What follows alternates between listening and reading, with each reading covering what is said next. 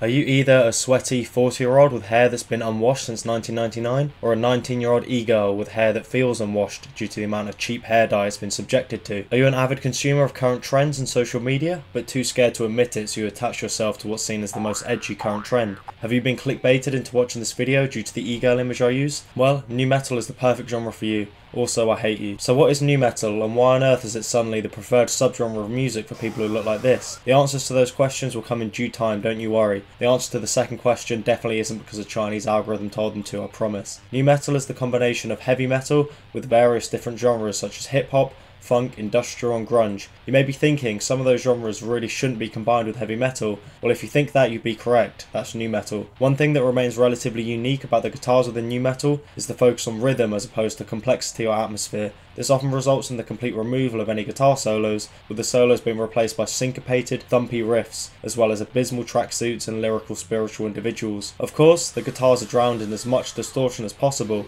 This is done on purpose. You gotta make sure the listener's eardrums blow out before they're subjected to this trying rap. Although the guitars follow standard metal conventions for the most part, the other instruments more so follow the themes of the other genres within this witch's cauldron of cringe. At times, drummers are influenced by funk and hip hop, adding a bit of swing and rhythm to the music, and other times they just say it and play blast beats. Bassists, they're consistently pretty goddamn funky. I don't have a joke, they just be funky. Another key element of nu metal instrumentation is the complete disregard of what instruments actually work within metal. Turntables, samplers, baseball bats, you name it, might as well chuck it in there. I'm sure the mix will be fine. I don't have to do this, but we're going to have to cover vocals. For the most part, the vocals follow a pretty generic metal style. Growling, screaming, soy singing, all pretty standard. What remains relatively unique for the genre is the fact that upon listening to a song, you have about a 60% chance to hear somebody who looks like this rap some of the most abhorrent bars known to man. Lyrics are relatively similar to grunge and other more nihilistic subgenres, with topics such as pain, angst, and betrayal, although nu metal tackles these issues pretty directly, with not as much subtlety. Lyrics can delve into a much more cringe direction though, with some bands sounding like a group of redneck cavemen grunting about alcohol,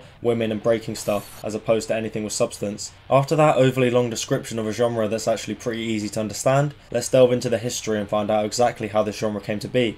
As nu metal is kind of just a mashup of loads of different that should probably be left at least 5 metres apart, exploring every artist that laid certain groundworks for the genre would take a very long time, and since this genre has had a resurgence in recent times for some reason, we have a lot to cover so let's get going. I think we should cover the instrumentation first and get to the lyrical spiritual individuals a bit later. The first genre to emerge that would really inspire nu metal would be thrash metal, although most of the good bits were completely ignored. All the complicated bits, the solos, the atmosphere, that guitar heavy, drum fast, boom, yes. Anthrax would be particularly influential with their collaboration with the hip hop collective Public Enemy, which actually saw members of Anthrax poorly rapping alongside Public Enemy. Although the use of hip hop within rock music has been around since 1986, with Run DMC's collaboration with Aerosmith and the Beastie Boys sampling the likes of Black Sabbath and ACDC, nothing quite captured the essence of what nu metal would become, quite like Anthrax and Public Enemy. Around the same time, the development of alternative metal was sprinkling a few elements into the eventual nu metal potion. Bands like Helmet would inspire the down-tuned riffs, whilst Faith No More would inspire the prevalence of bass alongside a lot of the vocal stylings of nu metal. By that I mean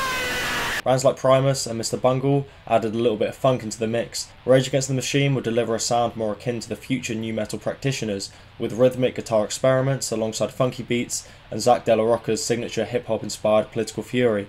So at this point we have all the elements, everything that's needed in theory to create nu metal, so what actually started it all off? Korn would grease up their knotted locks, slap on the purple tracksuit, and released their self-titled debut in 1994, completely spitting on the glam and hair metal of the years beforehand, instead deciding to take the rumblings of rap metal and twisting it into the most abhorrent concoction. They combined down-tuned, sludgy riffs, distinct vocals and a focus on rhythm that can only be seen from a band that didn't actually grow up on metal, instead being fans of goth, funk and hip-hop. POD's Snuff the Punk actually released earlier that same year, and would feature a lot of the stylings of nu metal, including a lot of the hip hop elements ignored by Korn. Shortly after nu metal embarrassingly thrust its way into a limited amount of mainstream attention, Coal Chamber would release their debut album, alongside one of the worst music videos I've ever seen. Coal Chamber would basically take what Korn did and make it a lot worse, although their vocals are more attuned to what nu metal would become in the following years. 1997 would also see the release of prominent albums from two of nu metal's powerhouses, although they were literally nothing alike, Red Hat Band and Goth Girl Band. Limp Bizkit's debut album would take the nu metal formula and make it really stupid, taking the instrumentation of metal and combining it with gangster rap and absolutely terrible lyrics that people took seriously for some reason. Around the Fur by Deftones would produce some of the best riffs within the genre if you consider Deftones to actually be nu metal, as opposed to inserting funk and hip hop into the metal formula, Deftones would experiment with more shoegazy type and kind of got grouped into nu metal due to the popularity aligning with the popularity of nu metal timeframe wise. What you may notice about nu metal is that everyone seems to be wearing really stupid outfits red cap, purple jumpsuit, whatever the f this is. Despite many of these outfits being the preferred clothing of the musicians, it still held a prominent role in the presentation of the bands. Korn's original look stood out from a lot of what was happening in metal beforehand, resulting in more attention for the band. This led to a bit of a phenomenon. As outfits got more silly, each band had to one up each other, getting progressively sillier. The band that would take this to its absolute extreme would be Slipknot. You see, during the late 90s, there were only two options for Midwesterners either or dressing up in Halloween costumes and breaking things. Slipknot chose the latter and opted to dress in jumpsuits and masks, assigning each themselves a number to be referred to by fans rather than the name. This gimmick, alongside their debut album, would thrust the band into the nu metal scene.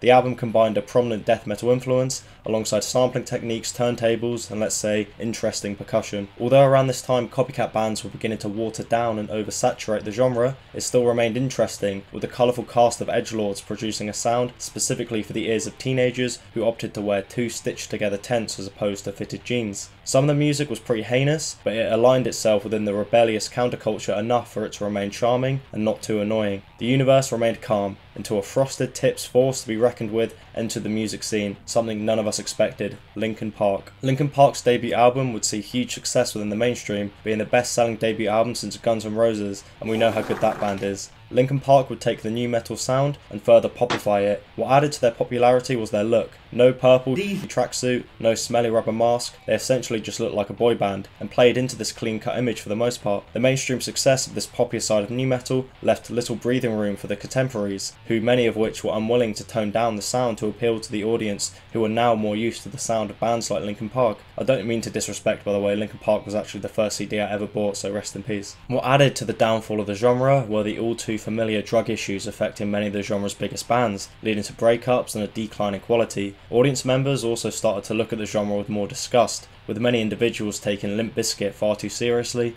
and targeting their distaste specifically towards Fred Durst and his style of lyricism. And although System of a Down would release some amazing music in the coming years, the commercial success of nu metal albums was drastically decreasing, putting the final nail in the coffin for nu metal. Many bands would continue down the same path, with varying levels of success, Limp Bizkit would perform relatively terribly sales wise, Korn would do decently, and Slipknot would go on to be one of the biggest metal bands in the world. So that brings us to the modern day, with nu metal being the most relevant it has been in the last 20 years. But why is that? Well, mainly TikTok. One person posts an unfunny or thirst trap video with a song, that spreads, more people listen to it, more people use it, so on, so on. It's what we expect from China's favourite social weapon. But why specifically nu metal? I think the best way to explain this is to look at the current state of hip hop. Look at this dude, this dude, this human incarnation of the coronavirus. They all have very specific and over the top looks. People often attach themselves to the image of a person, which explains the popularity of nu metal, with many prominent members having over the top looks and images. Many Zoomers have probably seen a goth girl dancing to Korn and immediately had their ADHD riddled brain hyperfixate on the eye catching and honestly extremely appealing look of many of the bands involved within the genre. It also may be because the music is very catchy and sounds good. Nah, no way, that's, that's no way, it can't be.